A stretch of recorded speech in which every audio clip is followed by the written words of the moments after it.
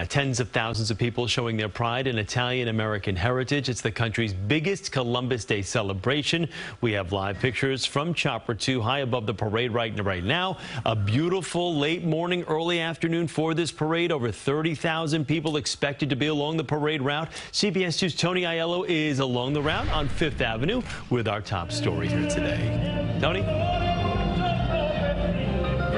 I know you're wondering how a guy named Tony Aiello got this assignment on Columbus Day. I am the proud grandson of Francesco and Francesca Aiello from Bagheria, Sicily. There are almost 3 million Italian Americans in the New York metro region, many of them here today. And if you're not Italian, you love someone who is. Can see there's thousands and thousands of people lining the route. We've got parade floats that are now coming down. Governor Hochul and Comptroller DiNapoli have um, walked by as well. This is a fund, uh, Gabelli Fund, Mario Gabelli. He always has a float in this parade.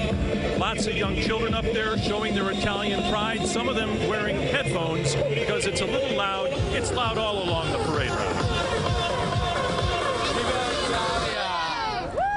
A full 10% of New York City residents claim Italian heritage. The annual display on Columbus Day, a reflection of the pride they feel, as well as a determination to keep alive the connection to the old country. Rosalia Campo does it for her children. I try to keep it um, alive just the same way my family taught me, the traditions or whatnot, trying to keep the, the food and the holidays always together and the Sunday dinners and things like that. Italy is an ancient land, but as a single unified nation, it's younger than the United States.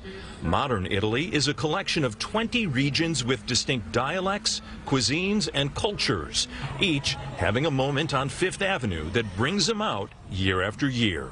Every year here since 1980. Uh, that's when I started the job, and religiously, Columbus Day Parade. What brings you out year after year?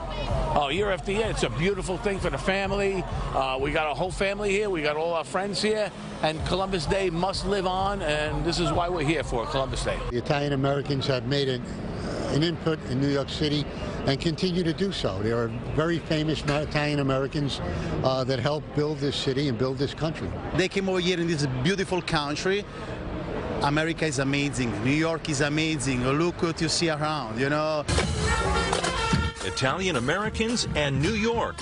That's amore. And this is the Italian Welfare League float. They raise money to help what they call i nostri bambini, young people in need of help, many of them with medical issues. I'm proud to say I am a longtime supporter of the Italian Welfare League, and I'll be emceeing their lunch for about the eighth or ninth time coming up on November 13th. It's great to see so many young Italian Americans at this parade trying to connect with a culture even as they're two or three generations removed from the relative who came here from the old country.